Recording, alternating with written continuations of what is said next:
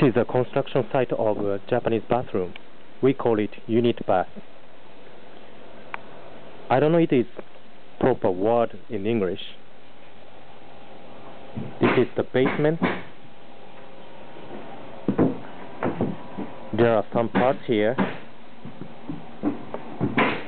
Tub, sailing somewhere